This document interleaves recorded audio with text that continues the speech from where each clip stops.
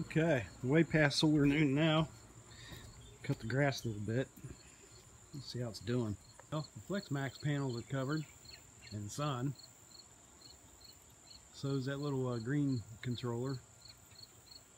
And it looks like the Midnite Classics panels are uh, in full sun.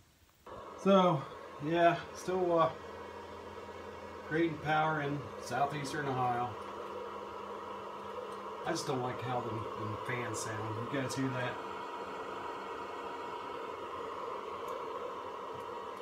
Yeah, I don't like how they sound. But other than that, it's producing. That's producing good. We're not using much at all, it doesn't seem like. So all that's going, well, I guess to the batteries and just uh, whatever we're using the Exogeny or whatever it's called. It's got my 960 watt panels on it. Uh, not doing anything right now. I guess we're just not needed. There's the fan on the Flex Max. That sounds a lot better. Yep, making power in southeastern Ohio. If you can, like and share. And subscribe if you, if you could. Thanks.